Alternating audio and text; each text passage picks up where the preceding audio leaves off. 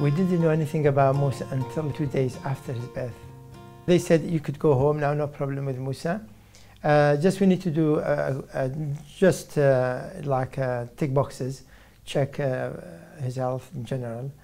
And they did check his oxygen level in his blood, and they were about 88%. And they say, oh, there's something wrong here.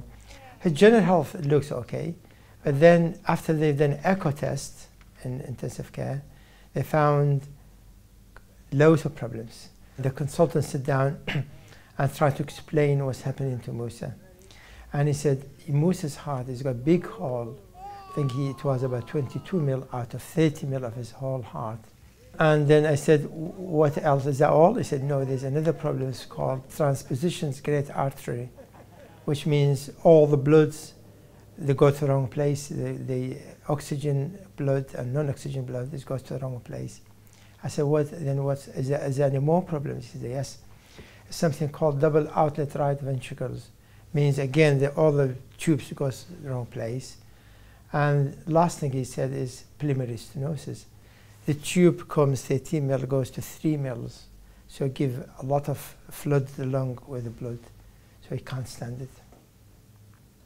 It was shock for us. And uh, I said, is this problems, is it repairable? Is it, is it kind of curable? He said, I'm afraid it's not. Our Prophet, peace upon him, Muhammad, peace upon him, says, if you have one day in your life and you have, um, you have a plant, you should put, seed the plant or you should um, plant it. Maybe you don't make benefit from it, you're going to die, but somebody else will make benefit from it.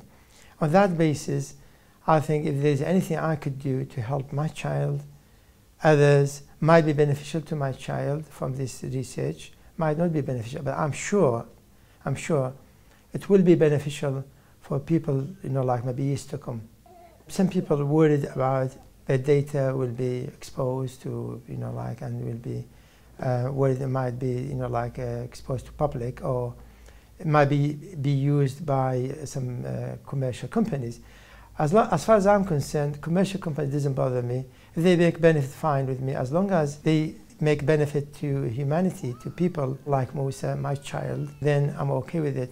Personally, I don't like my data to be exposed to, to be public domain, but if they've been, if they've been uh, contained within research team and other researchers, I'm a researcher myself, so I could understand that.